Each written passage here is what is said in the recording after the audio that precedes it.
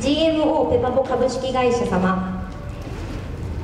技術基盤チームシニアプリンシパル松本涼介様によるロリポップで目指す目指す PHP のためのセキュリティと性能要件を同時に満たすサーバーホスティング技術です。よろしくお願いいたします。拍手、はい、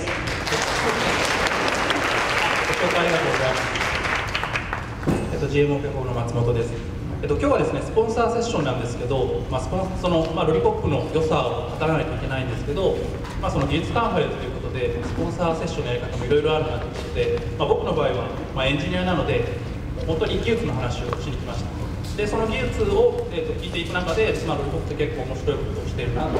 そんなふうに思っていただけると、えー、嬉しいかなと思います。ただまキーワードは、えー、PHP の実行基盤の高速化とかセキュリティとか小メモリあとは、まあ、ここで、えー、とペパボカーネルとそういうカーネルの話まで紹介したいと思います。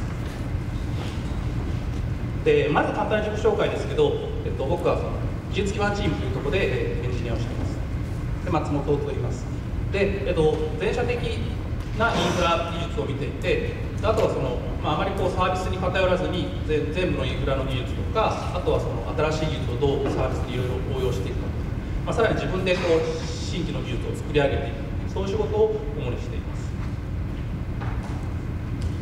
でちょっと15分なんでさささっといきたいんですけど、えっと、今日はまずその、まあ、ロリポップとかその辺りでこう取り組んでいる公衆席ホスティングっていうものが、まあ、どういうどういう前提をもとに設計がされていて、えっと、その中でいかにこう PHP を実行する基盤をどう速くするか。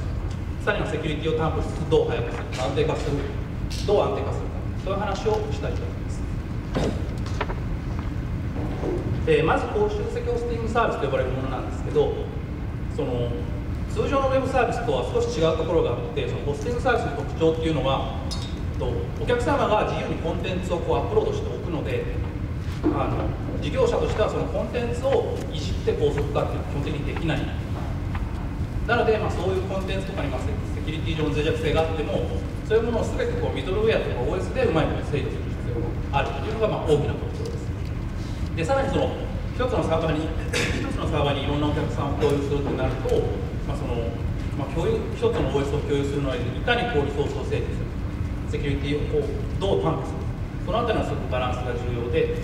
で弊社の場合はそこにこうどれだけお客様を詰め込めるか。詰め込めるというちょっと失礼なんですけどどれだけ公衆席に一つのサーバーに入れることが収容することができるか。というところにこだわっています。で、まあ、いろいろ今ってこう新しいその、えー、お客様のその環境を確立する技術ってたくさんあると思うんですけどなぜこう僕らはその公衆席ですこだわっているのかという話をしていきたいと思います。で、えーと、弊社のトリポップレンタルサーバーえー、サービスをしてましてこれがホスティングなんですけど、ちょっと見えづらいんですけど本当にすごく値段が安い。例えばエコノミーとかで100円から始められるし、えー、そうですね。スタンダード。最近はこうモジュール版 PHP を使えるようなものであっても500円から使えるでモジュール版 PHP を使えて500円って普通聞くとなんか、まあ、嘘くさいというかひょっとすると性能モジュール PHP の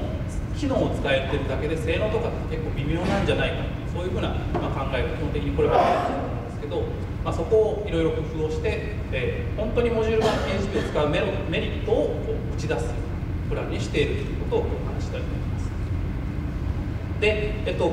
基本的にその使ってるお客様っていうのは個人向けのサイトがすごく多くて今はそのレンタルサーバー全体で合わすと約250万サイト、まあ、250万ドメインぐらいのお客様というかウェブサイトを管理しています。なので本当に学生だったりとか、まあ、主婦の主婦だったりとか本当にその月額そんなにお金を出せないような個人の人でも、えっと、自分で好きなようにこうインターネット上にいろんなコンテンツアップこうアップロードしてもらってこう自分をアピールしてもらう。そういう環境をサポートしてます。でそう考えるとやっぱりどれだけ、えー、ハードウェアに報酬席に詰め込めるかそれによってどれだけ値段を安く下げつつもいかにこう性能を引き出せるかというところが、まあ、技術的にすごく面白いところだと思います。で、まあ、例えばそのハードウェアを新しいものにリプレイスしていけばどんどん性能が上がるんですけど例えばそのハードウェアの値段が高くなったりしちゃうと結局こうお客様に値段をこう高くしたりとかあまりこうそういうなんか自分たちの技術で改善してる感じがしないのでで今のところまだソフトウェアでいろいろ改善できるポイントがあるというふうに考えて、えー、技術力によって解決可能というアプローチでいろいろと取り組んでいます。で、えっと、そういう前提を考えるとウェブサーバーのアーキテクチャの取り方っていうのが、えっと、すごくこれも考えないといけなくて例えばその、まあ、とあるサーバーメモリ 32GB で CPU コア24個ぐらいのそういうサーバーを考えた時にそこのサイトで僕らとしてはもう数万から10万サイトぐらいお客様を収容したい。UID も別々であってもそれが10万最最大10万サイトぐらい収容したい時にえっとその収容数がお客様の収容数がプロセス数とかに依存しちゃうとかなり厳しくなってくるんですね。そのお客様お客様の数だけアパッチを上げないといけないとかノート PHP とかいろいろ考えると、まあ、プロセス数が依存しちゃうと厳しいっていうところで結局はやっぱりその枯れた技術これまでまあかなりこう使われてくる、えっと、バーチャルホスト。HTTP のプロセスは基本的に一つのアパッチとして上がっていてその中でお客さんがそれを共有して使うような、まあ、結局そのまあ一種いろんなアーキテクチャを考えて結局またバーチャルホストに戻ってきている、まあ、僕らの考えとしてはそういう流れがあります。でこれ簡単に写したんですけど、まあ、左の方は例えば、えっと、バーチャルホストだともう一つのアパッチに必要なリソースとか一つにして、まあ、お客さんごとにこう、まあ、増えていくような効率的にリソースを使えるのに対して例えばこうお客様ごとにコンテナ環境だったりとか、まあ、お客様ごとにプロセス単位で分離とかっていうことをするとどうしてもすごい量になっちゃう。例えばもう1万1万サイズ入れたいってなるとその一人一人に30プロセスを起動さすとそれで30万プロセスになっちゃうので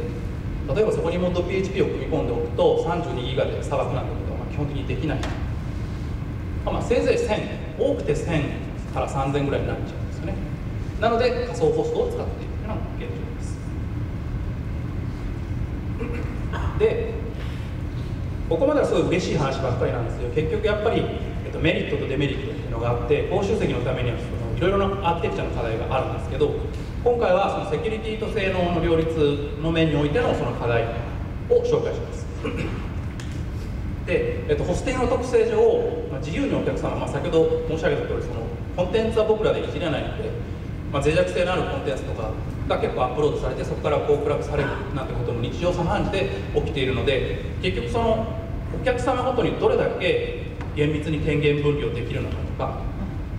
さらにはまあここでいう PHP とか権限分離しつつもどれだけ性能を発揮できるかっていうところは問題になっていますでそうなるとやっぱり仮想ホストっていうのは一つのアパッチ権限で動いているのでなかなかそれを、えっと、性能とセキュリティ面を両立するのは難しくてそれをこうどうするのかっていうのをこれまで考えてきました。で、えっと、僕はその会社一旦辞めてその大学に入り直して博士課程でいろいろ研究をしていたのでそこで学んだその学術的な研究の仕方とかそこで書いた論文とか考え方を利用して、まあ、新しいその権限分離の技術を作ろうということで、まあ、それを、えっと、適用するような方向性で今プロコムでは、えー、アーティクチャの改善を進めていて、まあ、それを次世代ホスティングサービスとかって呼んでいます。なのでこの名前だけ見るとなんかいまいち大したことないしあとはなんか早くなったっていうだけじゃあまり面白くないんですけど実は中ですごい高度なことをいろいろやっているでそれを一つとして、えー、PHP 実行基盤のセキュリティと性能の両立をしています。でこれは、えっと、レンタルサーバーってその仮想ホストを使う時はこれまではやっぱりこう PHP とか PAL であっても、えー、CGI で実行して数エグゼットで権限分離を行うというのが定番のやり方でした。でこれはやっぱりそのリクエスト単位でプロセスを生成破棄したりとかあとは数エグゼットバイナリー PHPCGI バイナリーをリクエスト単位で実行しないといけないので結構重たい。で逆にファースト CGI は僕らのようなそのメモリが限られた環境だとそのお客さんの UID が増えれば増えるほど一時的にこう実行されてるファースト CGI がすごい溜まっちゃうこともあってプロセス面でなかなか厳しい。であとはモダル UID とか SUID でそのセキュリティをちゃんとしつつ性能を出そうとするとちょっと問題があって、まあ、ここはすごい話が長くなるので論文の引用にここで言及します。だから結局その権限分離のために結構コストがかかっているのでこれをこういかに下げるか。でセキュリティはそのままにいかにコストを下げるかっていうのに注目しましたでそこでモッドプロセスセキュリティっていうのを開発してこれはすごく簡単に言ってしまうとスレッド単位で権限分離するアーキテクチャこれを使えば ModPHP を仮想仮想、えーと、バーチャルホスト環境で使いつつも権限分離をちゃんとできるアーキテクチャになってい。ますでリクエスト単位でいろんなこうコストかかっていたのをスレッドの生成破棄レベルまで抑え込む。そういう技術になっております。で、えー、ですね。ちょっと時間がないのでどんどんいきたいと思うんですけどこれまでの CGI とスエンゼクの権限分離のモデルはまあ、親プロセスが一番左に上にいて子プロセスのアパッチもたくさん動いていてリクエストがあると,、えーと、ークして CG やスエグゼクをえー、セット UID ルートなプログラムなので一回それを実行して、えー、EXECV で実行した時に、まあ、一旦ルートのオーナーで起動した後にセット UID してお客様のユーザー1とか、えーと、プロセスに権限分離をした後にさらに PHPCGI を使ってインデックス PHP を実行する。でセット UID して一般ユーザーに戻るので、まあ、プロセスはそこからまたルートに戻ることができないので、まあ、消さないといけない。これが、まあ、いわゆる 2X のモデルになってで僕らの考えたやつはそのスレッドと Linux のケーパビリティという特権をこう細分化するような技術を使えば親プロセスからその一部の特権だけを引き継いで PHP を実行するときに、まあ、一旦こう権限分離をした後にえっと、その特権を落としてからスレッド上で PHP を実行してやればいいというふうに考えました。でさらには、えっと、アパッチそのものをそのものが何か脆弱性があったとしても、えっと、今はそのバーチャリングっていうこれも僕が作ったやつなんですけどアパッチそのものを、まあ、特権を落として、まあ、その各種ライブラリとか bind mount で read only で bind mount とかして必要ファイルとリソース制限をした環境下でこう実行させると、まあ、よりセキュリティ的な効力、えっと、強固になるそういうふうな、えーと、仕組みをとっています。で図示するとこういう感じで、えーと、親プロセスがバーチャリングっていう、まあ、いわゆるまあ change root とかいろいろそういうコンテナで使われているような技術の環境下において、えーと、ケーパビリティを引き継ぎつつあのチャイルド HTTPD っていうのは PodPHP を持ってるのでそこからリクエストがあったらスレッドを作って、えー、スレッドのスレッドだけの UID を変更して特権を落としてしかもモード PHP なんでそこからまあフォークとかする必要なく、えっと、パースして、まあ、バイトコールを実行する。ようなそれぐらいこう、えっと、シンプルな仕組みでコストが安くなる。で最終的にそのスレッドは殺すの、えっと、スレッドはこう壊すので、えっと、スレッドの生成破棄レベルに、えー、コストを抑えることがで、えーと、システムコールの数も2エグゼクとか3300 1リクエストで3377回あったのが大体155回まで抑えることができたし実際オーバーヘッドになっているシステムコールもほとんど CGI とか2エグゼクとかで使われているような、まあ、各種オープンクローズエグゼク V とか多くのクローンとかだったりします。でそれの結果的に、えっと、これロリポップのウェブサイトとかであるんですけどアクセスが集中した時も最大こう37倍ぐらいの性能差が出るようになった、まあ、これはもちろんそのスレッドの生成破棄レベルに抑え込んでるのでプロセス作ってスエグゼク実行して PHPCGI 実行してなんかと比べると、まあ、明らかにコストは安いわけで、まあ、当然の結果になってい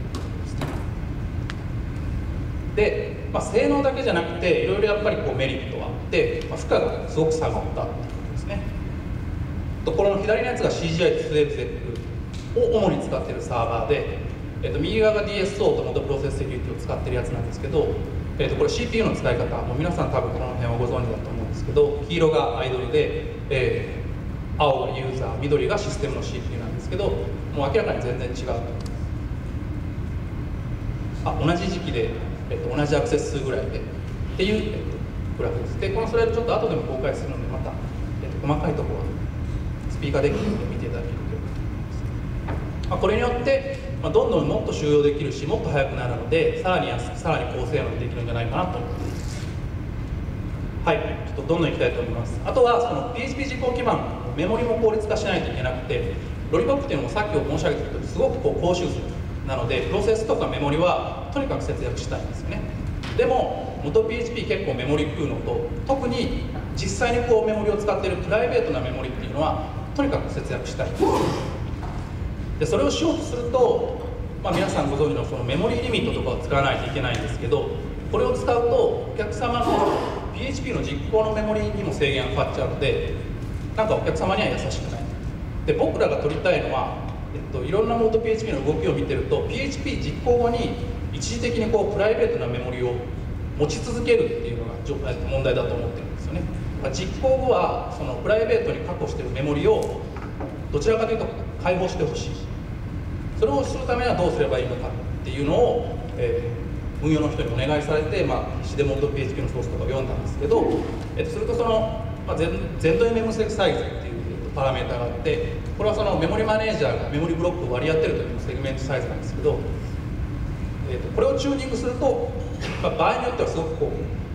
実行後のメモリをこうあまり残さなくていいことができます。でこれはコードを見る限り環境変数で制御可能だったので実際に試してみると。じゃあ一旦このあの続きはまた、えっと、申し訳ないここから結構まあ面白い話がたくさんあるんであのデバッグカーネルとかそうそうこれとかすごい面白いんですけど